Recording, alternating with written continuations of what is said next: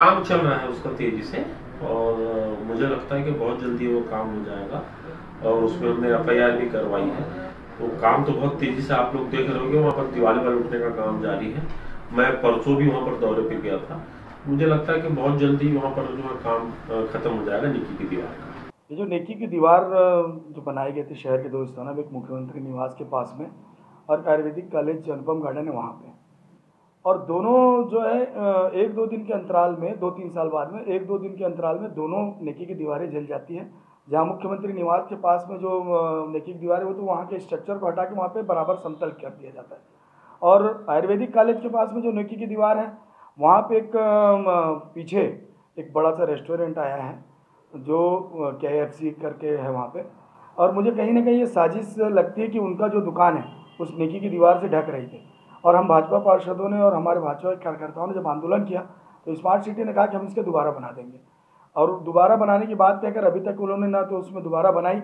उसके अलावा जिन्होंने जलाया, उसकी ना तो जाँच हुई, ना तो वहाँ सीसीटीवी कैमरे को खंगाला गया और पुलिस भी सिर्फ़ कार्रवाई के नाम पर लिखा पढ़ी करके इस काम को बंद करके रखी है। ये नेकी की जो दीवार है, वो खासकर गरीब तबके के जो लोग हैं, उनका वो ज़रूरत की सामान्य लिया करते थे। कितना उनको इससे राहत मिला करता था? पूरे हिंदुस्तान में बड़े शहरों में नेकी की दीवार के लिए योजना लाई गई, जिसमें शहर के संपन्न लोग, जो लोग अपने उपयोग किए हुए चीज़ें या अनुपयोगी जो उनके उपयोग की नहीं है और लोगों के उपयोग हो जाए, गरीबों को उसका उपयोग मिल जाए, ऐसे चीज़ों को वो नेकी की दीवार के पास रख के चले जाते थे और उसको जो लोग ज़रूरतमंद थे, वो लोग उसको ले जाते थे।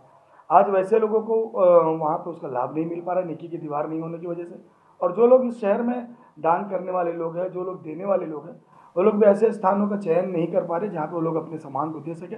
इससे बड़ी परेशानी हो रही है। निगम द्वारा शिकायत किए जाने पर थाना सरस्वती नगर क्षेत्र में जो अनुपम गार्डन के समीप नेकी की दीवार थी, जो कि आग में जलकर नष्ट हुई थी, उसमें तत्काल ही मामला उसमें कायम किया गया है और मामला कायम करने के उपरांत जो भी उपलब्ध तकनीकी साक्ष्य, कथन, गवाह जो भी उसमें टीम द्वारा कार्रवाई की गई है, अभी तक इसमें उचित जो कारण है उसका पता लगाने के प्रयास किए जा रहे हैं इसमें एक टीम हमारी इसमें लगी हुई है।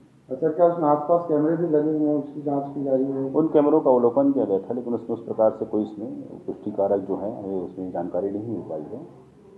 कुछ साजिश वगैरह कुछ ऐसा लग रहा है प्राथमिक दृष्टि से तो अभी तक देखा गया ऐसा कुछ लगा नहीं है। कई कारण हो सकते हैं कुछ आकस्मिक दुर्घटना का कारण भी हो सकते हैं। ये सभी एंगलों को हम देख रहे हैं उसमें।